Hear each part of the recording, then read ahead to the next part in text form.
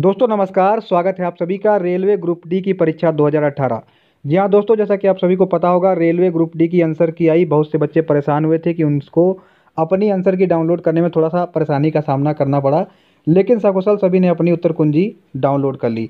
अब बच्चों को दिक्कत ये आ रही है कि आप में से अधिकतर बच्चों के जो आंसर हैं, वो तीस, पैंतीस और चालीस के बीच में हैं तो उन लोगों के सबसे बड़े जो तीन सवाल हैं वो हम जानेंगे आज के वीडियो में विस्तार से, लेकिन उससे पहले जो लोग चैनल पर पहली बार आए हैं, उनसे निवेदन है प्लीज़ चैनल को सब्सक्राइब कर लें, क्योंकि हम यहाँ पर आपको लगातार रेलवे ग्रुप डी परीक्षा संबंधी सबसे तेज़ अपडेट देते हैं।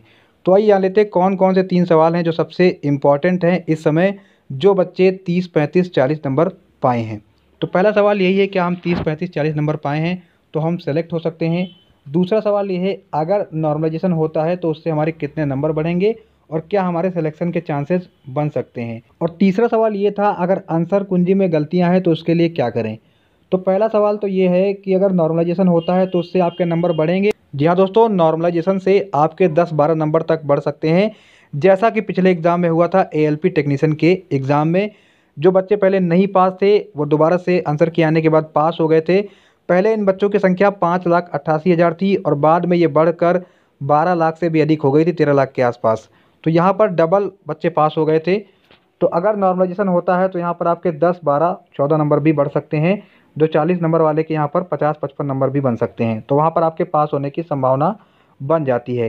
कहने का मतलब ये है कि तीस, पैंतीस और चालीस वाले भी पास हो सकते हैं। अगर नॉर्मलाइजेशन में आपके अच्छे खासे नंबर बढ़ते हैं तो बात करते हैं, उत्तर कुंजी में गलतियाँ हैं। बहुत से बच्चों की ये शिकायत थी कि सर हमने टिक कुछ और किया था, यहाँ पर कुछ और दिखा रहा है। तो उसके लिए आप आपत्ति जता सकते हैं। आपका जो क्वेश्चन या फिर उसके विकल्प में आपको गलती नज़र आ रही है तो उसके लिए आप आपत्ति जता सकते हैं।